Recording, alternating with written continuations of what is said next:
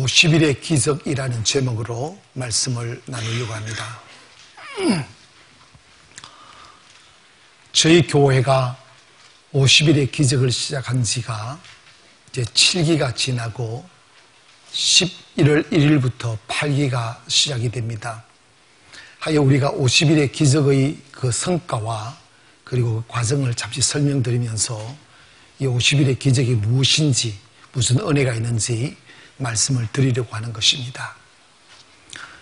역사는 수레바퀴라고 말했습니다. 그렇듯 복음의 역사도 수레바퀴와 같습니다. 역사의 그림자를 쫓아가 보면 과감히 복음이라는 배에 승선해서 예수 그리스도를 믿음으로 말미암아 개인과 가족, 민족의 운명을 바꾼 사람들의 역사들이 많습니다. 그들은 예수 믿는 그 순간 모든 것이 바뀌었습니다. 생각도 바뀌고 삶도 바뀌고 또 하늘이 내려주시는 은혜와 축복으로 가난한 자가 부유해졌고 소외된 자가 나라와 민족을 다스리는 지도자가 되고 그리고 지륵더미에서 살던 사람들이 귀족들과 잔을 나누는 영광을 보게 되었습니다. 그 결과 가정도 개인도 잘 살게 되고 또 행복한 나라 되게 되었습니다.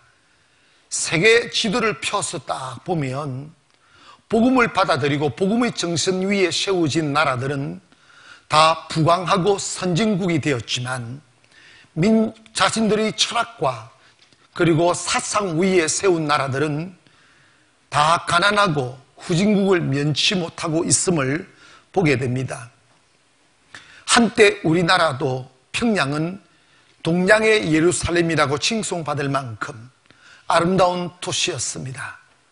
그러나 민족의 비극적 동족 상잔의 전쟁이었던 6.25로 인해서 나라가 두동강 나고 남과 북이 갈라졌습니다. 그 당시에 북한은 풍부한 지하 자원과 지리적인 좋은 조건을 가지고 시작했지만 복음을 어, 외면하고 공산주의 사상 위에 나라를 세웠고 남한은 그에 비해 지하 자원도 없고 그리고 지리적인 조건도 훨씬 더 불리한 조건에서 나라가 시작되었습니다. 세월이 지나 6, 70년이 지난 지금을 뒤돌아보면 여러 면으로 부족한 이 남한은 천국처럼 바뀌어져 있고 그리고 풍요로운 지하 자원과 좋은 지리적 조건을 가졌던 북한은 지옥처럼 바뀌어져 있습니다. 이 모습만 바라보아도 복음을 제대로 받아들이고 믿음으로 가정을 세우며 나라를 세우는 것이 얼마나 큰 은혜고 축복인가를 역사는 증명하고 있는 것입니다. 그런데 역사의 아이러니가 있어요. 그게 뭐냐면 그토록 가난하고 소외되고 힘들어 힘든 삶을 살던 사람들이 복음을 받아들이고 믿음으로 하나님의 은혜를 잊고 부유해지고 잘 살게 되었으면 항상 겸허한 마음과 겸손함으로 무장되어서 하나님을 경외하고 믿음으로 거룩한 삶을 살아야만 마땅할 민족들이 부유해지기만 하면 타락하고 부패하기 시작하더라는 거예요. 그 결과 유럽이 무너졌고 미국이 무너졌습니다. 여러분, 지금 우리나라도 복음으로 인하여 제더비에서 일어났던 민족인데 이토록 잘 살게 되고 축복을 누리게 되다 보니까 지금 우리 대한민국 땅은 부유라는 마취제에 취해서 비틀거리고 있습니다. 어린이들은 그저 좋은 대학 가기 위하여 공부하느라 교회를 외면하고 있고 젊은이들은 발전된 세속의 문화에 취해서 타락한 삶을 삶으로 교회를 등지고 있고 어른들은 더 많은 돈을 벌기 위해서 바쁘다는 핑계로 교회를 외면하고 있습니다. 그러다 보니까 육체가 힘들고 지치니까 주말만 되면 육체의 힘을 찾아 산과 뜰을 찾는 사람들로 거리를 메우고 있고 그리고 더 절망적인 것은 때 교회라도 깨어 있어 잠든 영혼들을 깨우고 타락한 민족들에게 진리를 외쳐야 하는데 교회가 잠들어가고 있고 죽어가고 있다는 현실 앞에 우리는 서 있습니다. 언젠가부터 한국 교회 속에 회개와 통곡의 소리가 사라졌고 그리고 웃음 소리가 사라졌고 다시 살아나는 그 기쁨의 환희의 찬양의 소리가 사라졌습니다.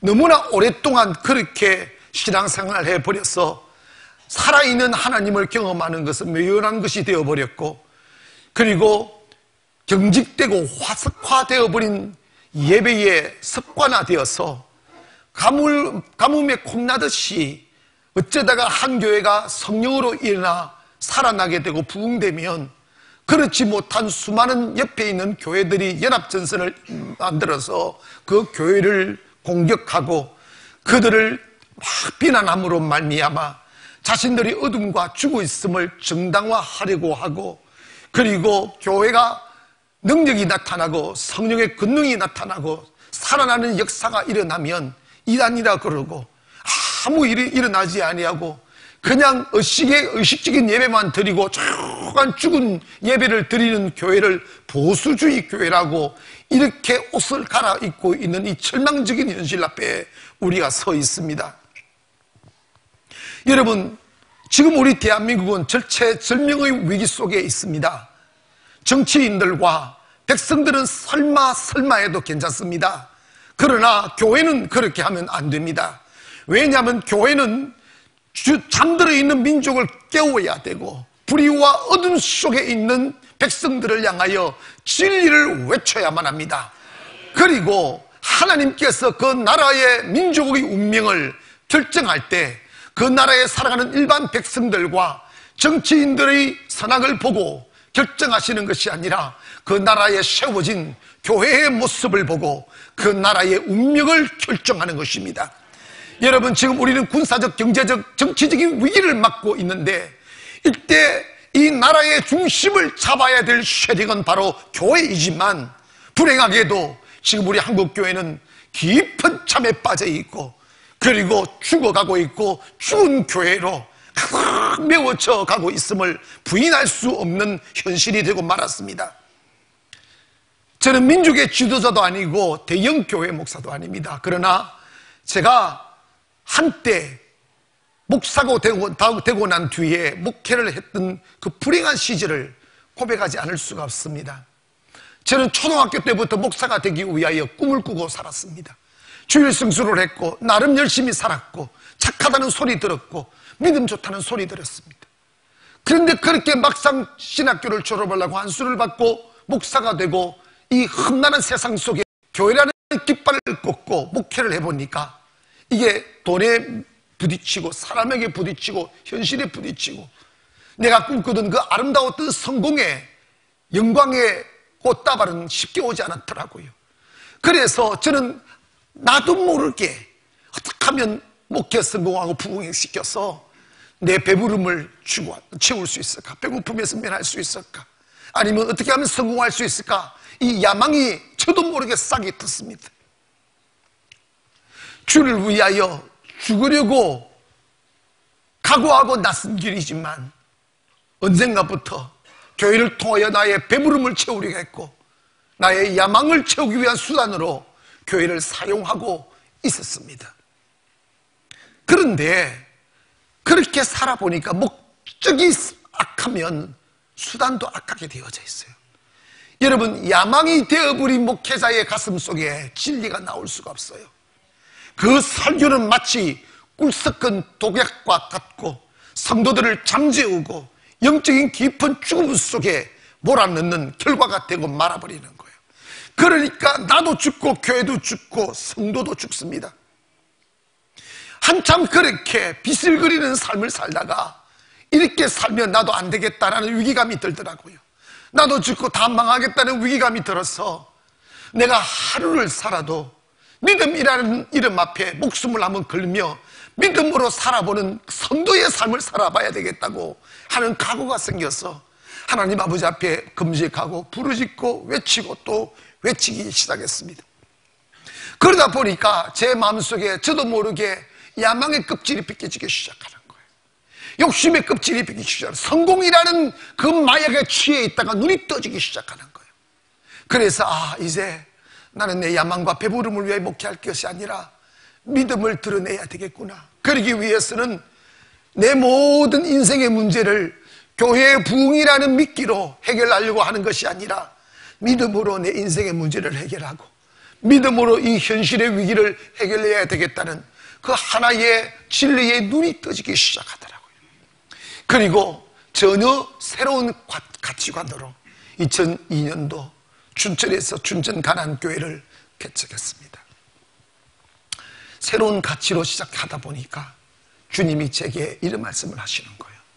너 나를 위해 바쁘게 뛰어다니려고 하지 말고 내 곁에 머물러라. 내가 원하는 일은 너가 내 곁에 머물러 있는 것이다. 저는 하나님의 은혜로 그렇게 자기만을 이기적인 생각으로 쌓여있던 제 가슴 속에 내 육신을 만족시키기 위하여 모든 수단을 다 동원하여 살아가는 나의 거짓된 삶을 버리고 정말 믿음으로 한번 살아봐야 되겠다. 하나님을 믿는 믿음으로 한번 살아봐야 되겠다. 아니, 단 하루라도 내 자신을 믿음 위에 한번 던져봐야 되겠다. 하는 생각을 하고 있는 차에 주님께서 제 인생으로는 상상할 수 없는 꿈 하나를 주셨어요. 그게 뭐냐면 주님을 믿는 믿음에 내 목숨 한번 걸어볼 수 있는 기회를 가져봤으면 좋겠다 하는 꿈을 꾸고 있을 때 주님이 40일 금식에 대한 감동을 주셨어요. 기도원 가지 않고 개척한 그 교회에서 기도가 시작되었습니다. 많은 사탄의 저항이 있었고 은혜로 이겨내고 난 뒤에 주님은 또다시 제보고 세상에 나가지 말고 그냥 1년을 교회 안에서 머물도록 만들었습니다. 교회 안에서 머물고 기도하고 간 곳은 목욕탕밖에 없죠. 나도 끊고 친구도 만나지 않고 목욕탕 가야 되겠더라고요. 그 목욕탕 갔다가 그냥 교회 오는 거예요. 그리고 1년을 교회에서 지냈어요.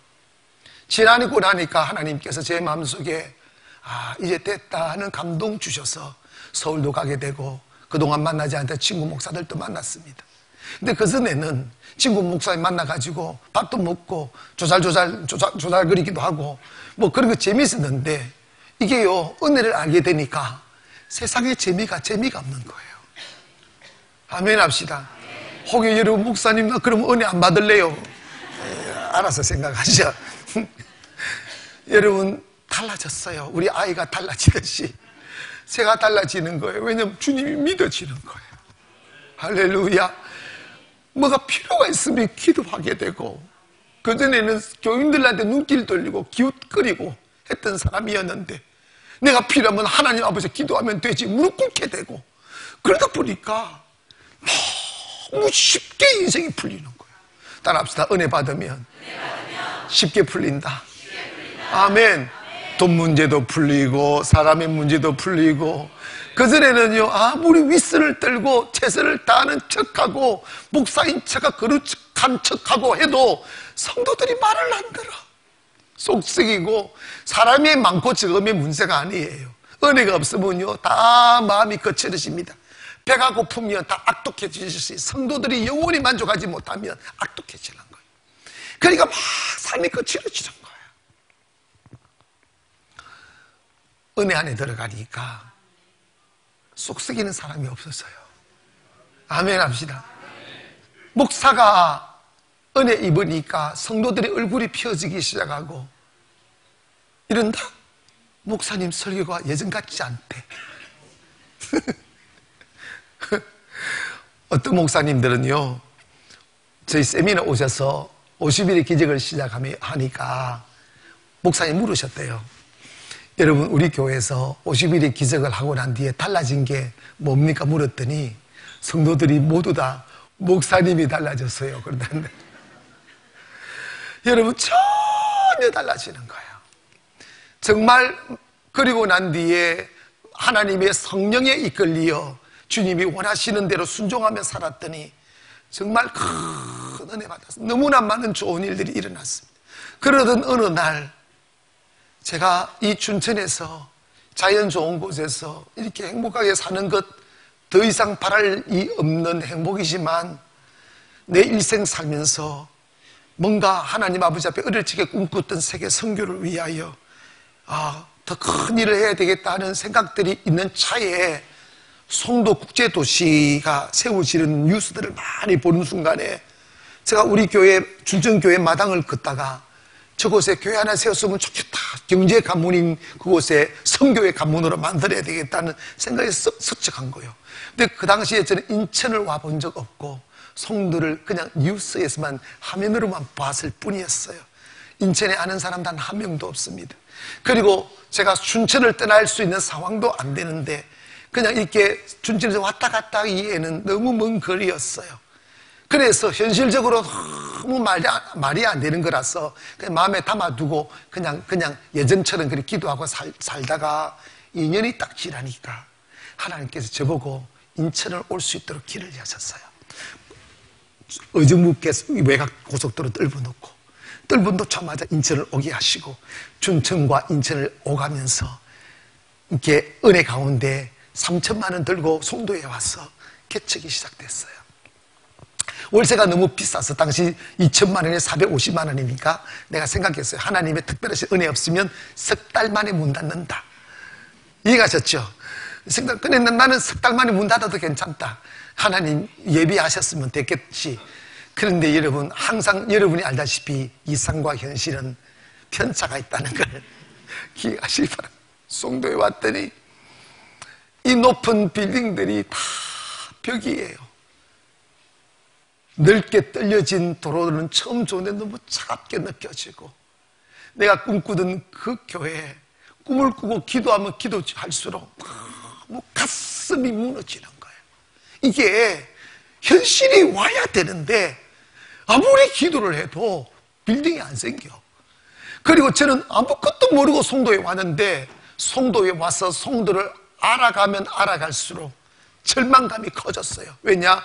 종교 부지 외에는 교회를 못 세운다는 것과 그리고 저는 이미 후발주자라서 종교 부지는 다른 교회들이 다 차지해 버린 상황이었고 또 그럴 만한 돈도 없고 사람도 없고 개척교회 여러분 죄송합니다만 여기 계신 분들 계시지만 개척교회 하다 보면요 다 사람들도 개척교회입니다.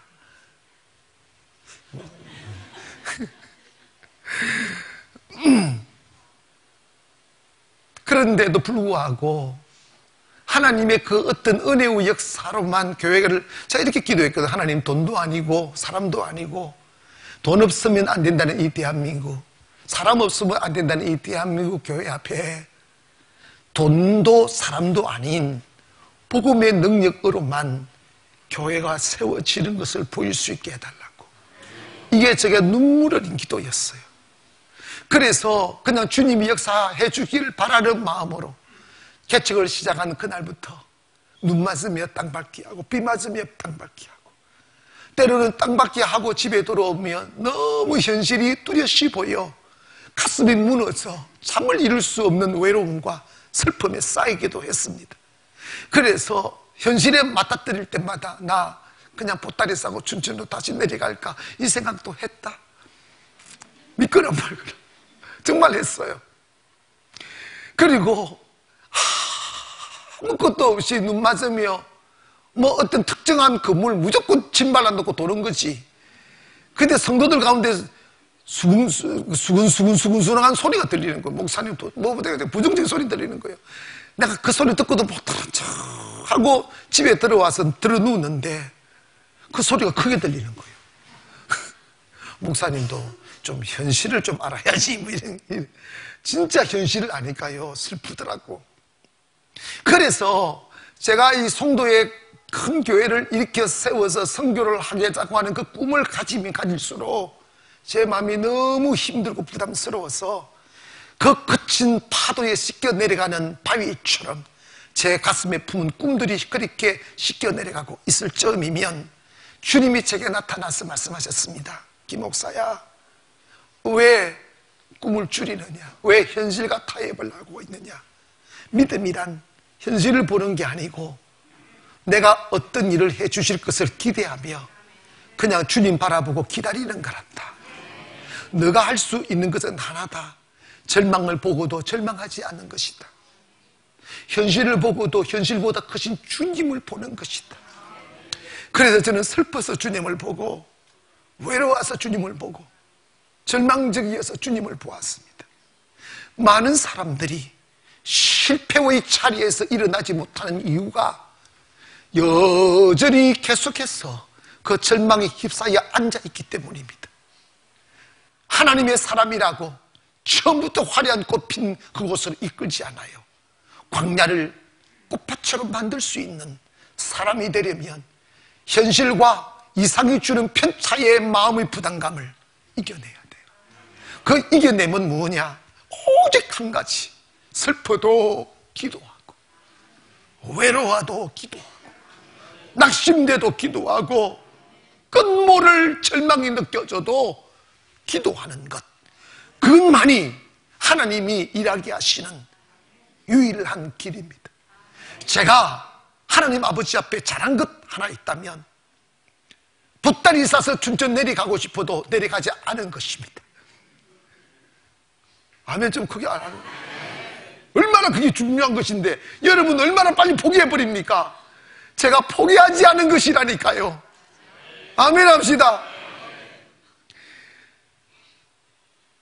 3년 반 울고 또 울고 인간적인 추릭 쓰지 아니하고 참게 부리지 아니하고 하나님 아버지만 바라보고 믿음을 외치고 있을 점 하나님이 기적같이 이곳을 예비해 주셨어 우리 교회에다가 선물로 주셨어요 마음 지킨 선물 아멘 그리고 이곳에 이것을 60억 정도 대강이었는데 그 당시 제가 가진 돈 전부 다 털어서 1억입니다. 개척해서 2천만 원 시작해가지고 이렇게 해서 많이, 많이 모았지. 아, 좀 웃어보셔. 오늘 왜 이렇게 화석이 나, 나 웃는 걸 좋아한다니까. 그런데 저는 이런 생각했어요. 어차피 나는 깡인 인생이다. 망할 것도 없잖아. 그리고 이런 생각을 한 거예요. 김의철 목사 잘난 척 하더니 송도 와서 깡그리 망하고 보따리 사고 춘천 내려갔다. 이 소리만 들을 각오만 하면 슬퍼도 괜찮더라고요. 나 자존심을 버렸어요. 그리고 그 마음, 그 소리 들을 각오를 하고 덤벼들었어요. 그리고 내 인생 완전히 부도 날 걸 생각하고 이렇게 가지고 60부터 들어붙었어요. 경매 이름 했으니까 여러분 좀 법을 아는 사람 알 거야. 그런데 여러분 하나님이 예비한 것은 되더라고요. 그 이야기하면 한 시간이니까 지나갑시다. 50일의 기적 나오면 내 이야기 해 줄게. 결국은 이곳으로 이사 왔어요. 다 하나님이 정말 산더미처럼 쌓여있는 문제들을 싹 썰어버렸어요. 썰어버리고 기적같이 이곳에 오게 만드셔서 그러니까 좋은 소문이 퍼졌는지 저는 결코 그렇게 생각하지 않습니다. 근데 사람들이 아, 김어채 목사 설교 좋다 이런 것 설교 종교 어디 있어? 그러면서 사람들이 모이려 갑자기 부흥이 되는 거예요. 부흥이 돼가지고 이곳에 와서 한 1년도 안 지났는데 300명이 넘어버린 거예요. 그런데 다른 목사님 같으면 아 좋다고 성경한테 막 의지되잖아. 난 마음이 너무 슬픈 거예요. 붕대면 좋아야 되는 마음이 슬픈 거예요. 무슨 생각이 있느냐면 내가 사람 모으려고 개척했던가. 내 배부름을 위하여, 예전에 그런 데 회개했잖아요. 내가 배부름을 위하여 개척한 게 아닌데, 이런 생각이 막 사로잡히니까 갈등이 생기기 시작하는 거예요. 왜냐하면, 여전히 지금도 그러신 분이 여기 계실지 모르지만, 우리 교회 부흥이 제가 전도에서 불신자를 전도해서 부흥된 게 아니고 소문 듣고 이사 오시든지 교회 옮겨서 저희 교회로 옮기는 분들 이런 분들로 채워지는데 대부분의 사람들이 Sunday Christian이야. 아멘 합시다. Sunday Christian이야.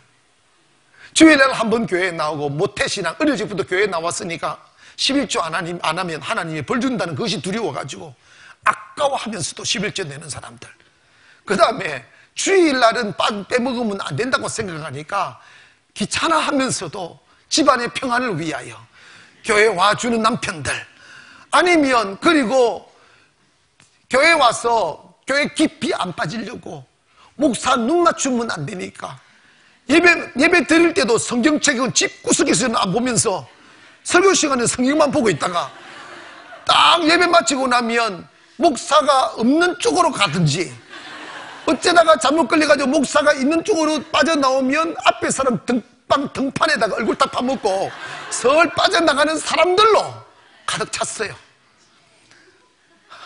자기 소리 하는 사람 되게 많지. 그런데 교회에 있는 수는 많아지고 재정은 늘어나는데 내가 슬펐어요.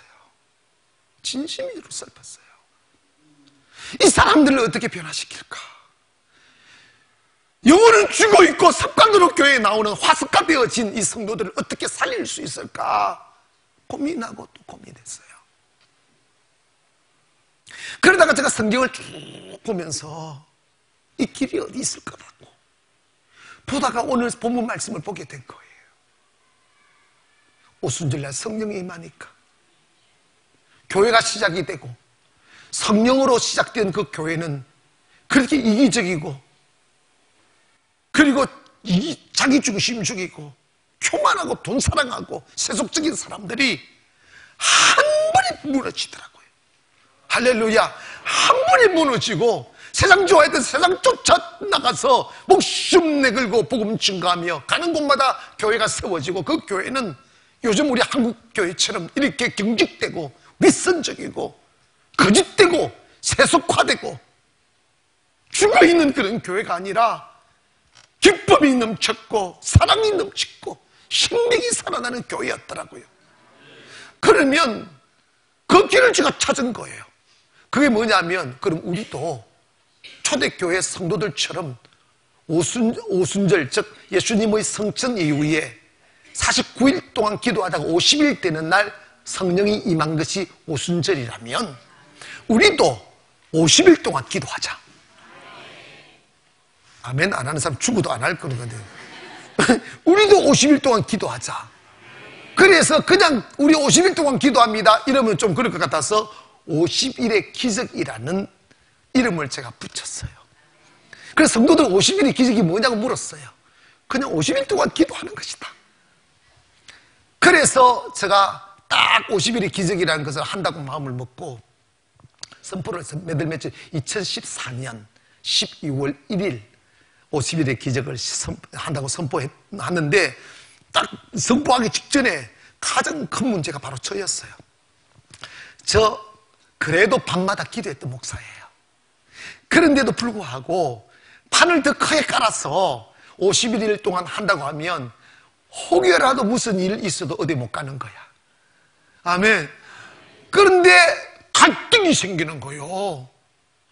아, 나 그거 할 수 있을까? 하지 말까? 또, 또 고민이 뭐냐면 내가 50일 동안 그렇게 매일 어디도 안 가고 기도하는데, 하는데 사람들 많이 안 나오면 어떡할까?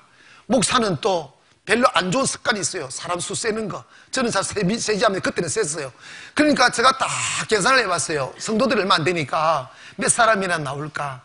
다 계산을 해보니까 남편도 없는 할머니 거사들. 하고 남편은 있어도 사이가 안 좋아서 각방 써가지고 있으나 마나 하는 그런 아낙네들. 이렇게 몇 명 나오는데 아무리 세어봐도 많이 나오면 스물 명. 더 인심을 쓰면 스물다섯 명 정도 나오겠다라고 생각하고 등록하라고 광고를 했더니 시작하는 전날까지 등록한 사람이 열다섯 명이었어요. 그래서 나는 그러면 그렇지. 그러면 그렇지. 아니 등록을 좀 일찍 하면 지금도 지금 등록 안 한 사람 지금 쎄 비다니까. 그런데 딱 그래도 주님이 말씀하셨어요. 너 사람 모아서 기도하는 게 중요하지 않다. 너 한 사람이라도 기도해라. 사람이 세상을 바꾸는 것이 아니라 기도가 세상을 바꾼다. 그 음성을 듣고 내가 위로를 얻고 그래 주님 나라도 하겠습니다 하고 딱 나왔는데 2014년 2014년 우리가 2000 어, 어, 어, 14, 그, 그, 4년 12월 1일 딱 왔는데요.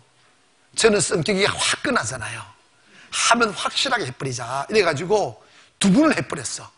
오전 10시 반 시간에 한번 하고 저녁 8시에 한번 했어요. 다른 목사님은 그런다고 뒤집힌다 이렇게 미쳤다고 죽는다고 그런다고. 근데 난 죽는 줄도 몰랐어요. 그냥 그냥 했어요. 놀라운 사실은요. 180명이 나왔어. 한번 해봐요. 진짜라니까. 내가 놀랬어요. 응? 이게 도저히 나오지 못할 사람들이 다 나오는 약속 끊어버리고 나오고 밤마다 술 마시는 사람도 나오고 싸우는 별 사람이 다 나왔어요. 근데 딱 나오는데 일기 딱 할 때는요. 제가요 이러다가 교회 망하겠다는 생각이 들더라고요. 왜냐하면 저항이 너무 컸어. 그 속에 들어있는 악한 마귀 새끼들이 말씀 듣기 싫어서 막 저항하고 막 얼굴이 붉글붉하고 내가 눈빛 보면 알잖아. 막 하고 막 어? 이상한 문자 보내서고 목사님 꼭 그랬어야 됩니까? 뭐 이러고 그런데 제가 두렵더라고요. 이해 안 가죠? 두렵더라고요. 그때 그, 그때 제가 영적인 훈련을 받아가지고 알은 거 이놈의 새끼가 마귀 새끼다. 그래 난 물러서지 않는다. 너 교회 떠나려면 떠나라. 마음으로 그렇게 생각하고 계속 외쳤어요. 외쳤더니 내일 안 나올 법한 사람이 내일 또 나오는 거야. 나는 고민이 왜 나올까를 생각했어요. 아, 지도 않은가 보다. 어? 내 영혼은 살고 싶은데 마귀 새끼가 저항한다는 걸 본인들이 아니까. 그래서 막 하는데 20일이 지나니까 반응이 일어나기 시작하더라.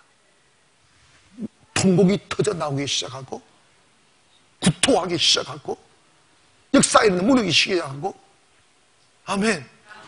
그래서 단 한 번도 하나님이 살아계신 것을 바라본 적이 없는 사람들이 기적이 뭐고 능력이 뭐고 성령이 뭔지를 경험해 보지도 못한 사람들이 절비했는데 이 자리에 나와서 기도하고 하다 보니까 안 나오니까 나오라고 그랬지. 제가 요즘은 묵 나오지만 그전에는 단 한 명도 안 나왔어요. 불러냈어요. 이게 오라고. 안수하기 시작했습니다. 성경에 보니까 안수함에 성령이 임했다고 해서 안수하기 시작한 첫 번째 처음에 안수를 딱 하니까 차가운 죽은 시체 위에 손을 얹는, 얹는 듯한 차가움을 느끼는 사람도 있었고 큰 바위 덩어리 안에 소, 속에 사람 손 얹는 느낌들 이게 이게요 이 도저히 사람 안 되겠다는 생각들이 막 드는 거예요. 근데 주님은 바위도 깨뜨리시고 얼음도 녹이시더라고요. 아멘. 그래서 서며드는데 은혜가 서며드는 거예요. 아멘. 근데 한 사람만 집어서 이야기할게요. 저기 있는 이재훈 집사님이 계세요. 저분은 내 다른 교회 내가 물어봤어요. 다른 교회 다닐 때도 그랬대. 목사님하고 절대 눈을 안 마주친대. 그냥 도망간대 이렇게.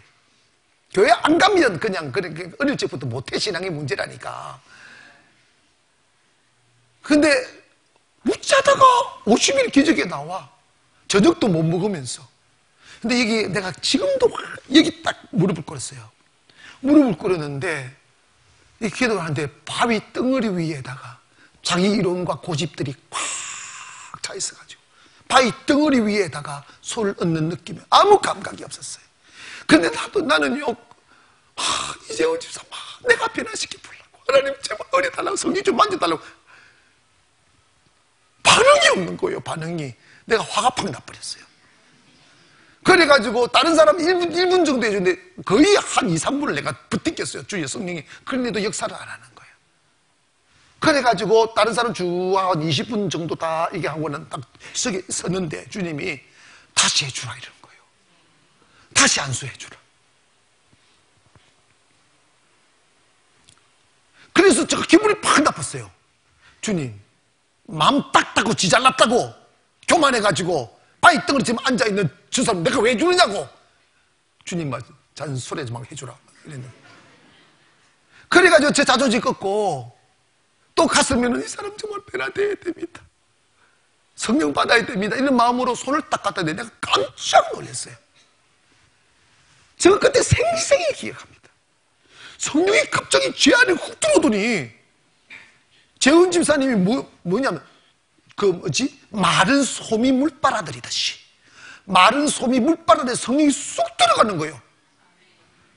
빳빳하게 앉아있던 사람이 툭 쓰러지는 거예요. 이게 툭 쓰러지는 거예요. 나중에 물어봤어요. 왜 쓰러졌냐고. 뜨거운 불이 하나하나 쑥 들어오더란다. 아멘 합시다. 뜨거운 불이 툭 들어. 그 이후에 성가대도 하고 나 밥도 잘 사주고 성교한다고 돈도 잘 주고 주일 예배 시간 안 빠지고 그 이후에 1기부터 7기까지 제 기억으로는 단 하루도 안 빠지고 와요. 아마 8기도 참석할 줄 나는 확신합니다. 얼마나 많이 바뀐지 몰라요. 얼마나 많이 바뀌 정말 바뀌었어요. 하나만 더 외워드릴게요. 여러분, 여기에 그런 이야기하면 너무 많아요. 춘, 우리가 50일의 기적을 하면 지금 춘천 한번 듣고 있을 거예요. 이 예배가 춘천으로 바로 지금 실황으로 쌓아지는데 그 목사님 아들인데 너무 극단적 타락한 삶을 살았어. 그 목사님께서 자기 아들과 자식들이 이렇게 타락했는데 내가 무슨 염치로 목회할 수 있을까? 목회를 그만두려고까지 생각하고 있는 차이였습니다. 그런데 우리 교인을 만나가지고 우리 교회 50일의 기적을 듣고 한번 가보자. 하도 그러니까 여기는 못 오고 춘천이가 춘천 영상으로 참석한 거야. 좀, 조금 안 입고 와도, 그 웃고 마세요? 그 친구의 이야기야. 딱 교회 들어와서 화면을 딱 보는 순간 자기 마음속에 아, 저거 진짜다. 저거 진짜다. 이 생각이 들더란다. 아멘. 아무나 안 들어. 그것도 눈이 삔 사람이 그런 생각이 드는 거예요. 하나님의 은혜로. 저거 진짜다. 그래서 가보자 하고 춘천에서 인천으로 50일 저녁에 이리로 온 거예요. 여러분이 얼굴 다 압니다. 와가지고 여기 왔는데 무릎을 꿇는데 목사님 저 춘천에서 왔습니다. 나, 나는 얼굴을 못 봤습니까? 온 지 얼마 안 됐으니까. 안수해달라고. 저 은혜 받고 싶다고. 그래서 갖다 대니까 이재훈 지사보다 더해. 이건 잡탕이야, 그야말로. 정말 잡탕. 이재훈 지사 단순했어요. 단순한데 굳어 있어요. 근데 여기는 잡탕이었어요.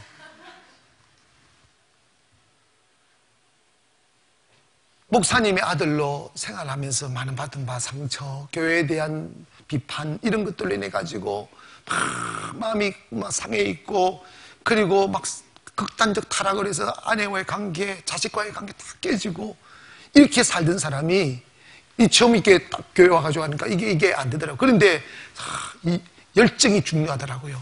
내가 기도해 주는 게 도저히 안 되겠다 싶어서 하고 이렇게 돌고 갔다가 또 오는 거예요. 저녁 한 하루 저녁의 이야기야. 또곧세번 더 안수를 받고 갔어요. 세 번째 성령이 들어가더라고요. 내가 알아요, 그걸. 성령이 들어가니까 이 사람이 그 완악했고 그 완고했던 게 깨지는데 통곡하기 시작하고 변화되기 시작하는데 지금 그 아내의 얼굴을 보면 천사처럼 바뀌어서 있고 얼마 전에 제가 춘천교회 가서 설교를 하는데 간정하기를 원하다고 그래 간정을 시켰어요. 여기 있어도 한번 앉아 첫날에 자식 아들, 어린 아이들 앉혀놓고 아내 앉혀놓고 첫 마디가 하는 말이 저 정말 지저분한 놈이었습니다. 이 말로 시작. 저 정말 지저분한 놈이었습니다. 그러면서 은혜 이버리가 변화돼 가지고 자기 동료들 전도 다 하고 할렐루야. 자기 아버 여러분 이거 있잖아 목사 경찰 선임 식사를 갔어. 누가 밥값 낸줄 아십니까? 왜 몰라? 식당 주인이 바깥 내버리대요. 목사님이 목사님에게 선물 보내는 거 어려워요. 근데 이름 모를 사람이 선물을 보내와요, 자꾸. 이게 과일도 보내오고 이게 누굴까를 했는데 알고 봤더니 그, 그 사람의 아버님 목사님이 자기 아들 변화에 대해 너무 기뻤어. 저한테 선물을 보내는 거예요. 그리고 이 아들이 아버지 보고 이분 목회자 서민한테 자기 아버지 등록시켰대요. 할렐루야. 50일의 기적의 위대함이에요. 놀라. 그래서 우리 성도들이 물어봤어. 50일의 기적을 뭐라고 이야기합니까? 라고 물으면 이건 천지개벽이다라고 말합니다. 수많은 사람들이 병이 났습니다. 수많은 사람들이 성령 받았습니다. 수많은 사람들이 삶이 바뀌었고요. 돈밖에 몰랐던 사람들이 이제 주를 위하여 이재용 진사 성령 받아가지고요 페이 닥터 했어요 그 당시에 페이 닥터 했는데 성령 받고 보니까 주님 앞에서 큰일 나고 싶다고 흥금만약에 또 개원했다? 믿거나 말거나 개원해가지고 지금 잘 돼가지고 돈 잘 갖다 주고 있어요 여러분 정말 하나님의 은혜입니다 정말 위대하다니까 50일에 기적하면 시간이 너무 많이 가서 내가 이제 서론하다가 다 나가버렸어 50일의 기적 너무 단호입니다. 내가 한 가지, 세 가지만 약속할게요. 따라합시다. 50일의 기적에 참석하면 죽은 자가 살아난다. 두 번째로 따라합시다. 능력을 받는다. 세 번째로 따라합시다. 행복해진다. 아멘. 10시 예배 때 참석한 자매, 그런 분들 여기도 많습니다. 50일의 기적이란 멀쩡했고 점잖했던 사람들이 계속 웃어요. 웃음을 못 참아요. 막 웃어요. 한 달 내내 웃어요. 진짜로 한 달 내내. 왜 그렇게 웃느냐? 너무 좋아서 웃는데. 웃음이 나온대. 여기서 배에서 나온대. 그러다 보니까 몸도 건강해지고 얼굴도 행복해지고 사업도 잘 되고 바가지를 안 꺾게 돼. 바가지 맨날 꺾이는 남편들이요. 아내 모시고 오셔서 50일에 참저 기적에 참여하시면 행복해지는 날이 분명히 오십니다. 할렐루야. 또 놀라운 사실은요. 젊은 부부들 내가 낮에 밤에 하면 얼마나 힘든지 몰라요. 그래도 낮에 해주니까 아이들 있는 우리 안학내 젊은 집사님들이 남편하고 아이 둘 나오면 아이 둘 생기면 남편이 남편으로 안 보여. 화상으로 다 보여 원래. 다 그러니까 싸우고 관계 안 좋고 그러니까 옆에도 오지 못하고 찬바람 쌩쌩 불던 사람들이 50일의 기적이 나오면요 애를 갖는다? 알아서 생각 사랑이 썩 수준이 할렐루야. 아직도 감을 못 잡고 있네 진짜. 마른 막대기도 살아난다니까. 할렐루야 행복해진다니까요 행복해지는 거 다 좋아지 내 심령이 살아나니까 10시 예배 오늘 한, 저 참석한 한, 한 자매는 우리 교회 갔 오자마자 50일의 기적을 참석했는데 성령이 뭔지도 그냥 교회만 다녔던 사람이에요. 근데 그때 우리 내가 지하에서 안수를 해주는데 안수를 하니까 이 아가씨인데 물리치료사예요. 막 웃으면서 튀고튀고 굴드는데 사람의 힘으로 구르는 속도하고 성령에 의해 구르는 속도는 달라요. 이게 끝에서 끝까지 몇 초 안 걸려. 탁 이렇게 탁 물려 탁. 내가 한참만 내가 처음 봐가지고 나도 나 그거 처음 봤어요. 이게 뭐막 웃으면서 막 미친 듯이 도는 거예요. 그래서 막 웃는 거예요. 그리고 막 그리고 한참 돌더니 도는 걸 멈추고 앉아서 막 매트 위에 한 손을 두드리 패는 거예요 이렇게. 엄청나게 두드려 패는 거예요. 왜 저러나 싶었어요. 한, 한 시간 그렇게 하고 나서 물어봤어요. 왜 그렇게 굴, 굴렀냐고. 자기도 모르게 너무 좋아서 몸이 굴러졌대. 몸이 탁 굴러졌대. 그리고 왜 그 두드리, 자기도 모르게 안 하려고 했는데 이게 자꾸 두드리지더래. 그런데 놀라운 사실이 있는 거예요. 물리치료로 사다 보니까 덩치 큰 환자들 들고 낳고 이러다 보니까 이게 인대가 늘어나가지고 매일 치료하고 치료하고 안 나사가지고 직장을 그만두려 할 차에 50일의 기적을 만난 거예요. 한참 성령께 두드리 패고 하더니 그리고 난데 이게 나사버린 거야. 지금도 물리치료사 하고 있어요. 할렐루야. 주일만 나오던 사람이 주일학교 하고 예배 시간마다 다 나옵니다. 지금도 예배 시간 보면요 성령에 취해가지고 뭘 해볼래 하고 있어. 여러분, 정말 이게 제가 이걸 깨달은 거예요. 아, 한국 교회가 망가진 것은 성령으로 목회 안 하고 목사의 지식과 경험과 자기 의지와 자기 이론으로 목회하기 때문에 교회가 화석화된다. 단 한 번도 수십 년을 교회를 다녀도 하나님이 살아계심을 경험해 본 적 없는 거예요. 여러분, 50일의 기적은 제가 만든 게 아니고 성경에 있는 그대로 하는 거예요. 제가 약속합니다. 50일의 기적 8기에 안 나오시려면 북한으로 이전하세요. 나오시면 내가 약속할게요. 살아난다. 심령이 살아나고. 아멘. 여기 있는 저 홍원식 박사님도 박합도 집사님 우리 교회 와가지고 너무 헷가닥 바뀌어가지고 우리 교회를 조사하러 왔다가 자기가 걸려 들어가지고 자기 걸려 서울에서 하루도 안 빠져 50일의 기적 나고 지금은 50일의 뭐 전도사가 됐어요. 50일의 기적 전도사가 돼가지고 예전에 자기 다녔던 교회 목사님만 찾아가지고 목사님 좀 기분 나빴을 것 같아. 목사님 찾아가가지고 우리 교회 목사님 50일의 기적 위대하다고 등록시켰단다. 사실 목사님 찾아가지고. 저분이 내가 물어봤어요. 우리 교회 50일 기적 참석하고 느낌 어땠냐고. 첫째 날에 나를 조사하러 왔기 때문에 아무 감각이 없었고, 둘째 날 딱 보니까, 아, 나 살았다. 아, 본인이 있는데 내가 거짓말 하겠어. 아, 나 살았다.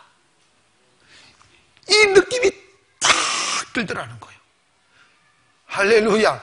그래서 나는 서울 집이 멋이니까 몇 분 나오고 안 나오고 있잖아요. 지금도 나오신다니까. 살기 위해서. 50일의 기적 나오면 삽니다. 두 번째로 능력 받습니다. 능력 받으면 모든 문제 해결됩니다. 세 번째로 행복해 미쳐요. 이거 세 개가 안 이루어지면 제가 물려줄 테니까 혹이라도 갈까 말까 길까 말까 갈등하고 계셨던 분 나 바빠 아닙니다 해보셔요 제가 일기 시작하고 난 뒤에 그 많은 영적인 저항에 있음에도 불구하고 여기서 차를 딱 몰고 집으로 가는 동안에 저는, 저는 마치 구름 위에 떠 있는 느낌을 너무 많이 받았어요. 너무 행복했어. 아멘. 여기저기 살아나는 소리가 막, 막 들려오는데, 할렐루야. 그리고 난 뒤에 우리가 2014년도 300명인데 지금 2017년도 2000명이 거의 다다랐으면 엄청난 부흥이 되지 않습니까? 교회가 더 부흥된다니까. 아멘 합시다. 진리가 있는 곳에 생명이 있다니까. 할렐루야. 옆에 분들 눈 똑 보고 정신 차리고 우리 50일의 기적 나옵시다. 시작. 행복합니다. 보상 있습니다. 제가 해보니까요. 50일의 기적 나와서 딱 2시간씩 하면 100시간, 100시간 드린 겁니다. 100시간 드리면, 여러분 100시간 돈 벌면 천만이라고 하면 내가 약속합니다. 수십억 번은 돈을 따지면 수십보다, 수십억보다 큰 거 얻게 됩니다. 사업도 잘 된다니까. 할렐루야! 사업 잘 분명히 잘 된다니까. 해보시라니까. 다 정인들이 지금 수덕 앉아 있어요.